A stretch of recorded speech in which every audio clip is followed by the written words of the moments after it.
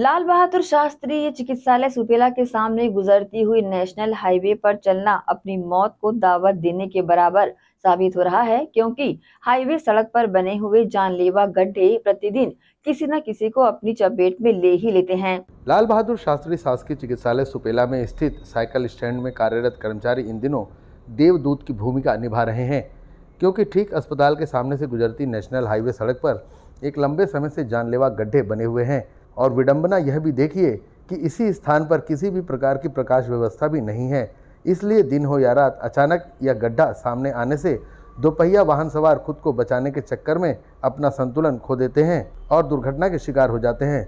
तब अस्पताल परिसर में स्थित साइकिल स्टैंड में कार्यरत कर्मचारी दौड़कर पीड़ित को उठाते हैं और अस्पताल में भर्ती भी कराते हैं। जब हम यह माजरा अपने कैमरे में कैद कर रहे थे, तभी एक दुर्घटना भी हमारे कैमरे में कैद हो गई।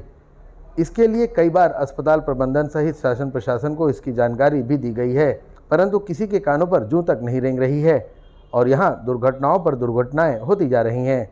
लाल बहादुर शास्त्री शासकीय चिकित्सालय के साइकिल स्टैंड के कार्यरत कर्मचारी ने ग्रैंड एशियन न्यूज़ टीम को आँखों देखा हाल बताया। ये सुपेला जो हॉस्पिटल है गवर्नमेंट, लाल बहादुर शास्त्री, वहाँ स्टैंड संभालता हूँ मैं। मैं इसलिए यहाँ पर आज खड़ो की चीज़ बोल रहा हूँ, बहुत लोग को बोल चुका हूँ। यहाँ पर आप रोड देख रहे होंगे, इतना ख़राब। कि डेली कम से कम दस व्यक्ति का एक्सीडेंट होता है यहाँ पे। बहुत लोग का।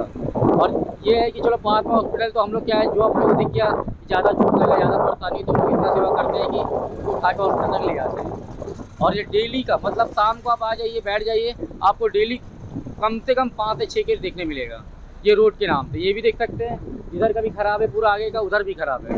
और हम लोग ने इमरजेंसी के लिए एक तो बनवाया है, वो भी टूटा हुआ था, वो तो बन गया, लेकिन इसके बारे में अभी तक कोई सुनवाई नहीं हुई है। तो सर प्लीज़ आप लोग इतना ज़्यादा करेंगे तो ज़्यादा बेटर रहेगा।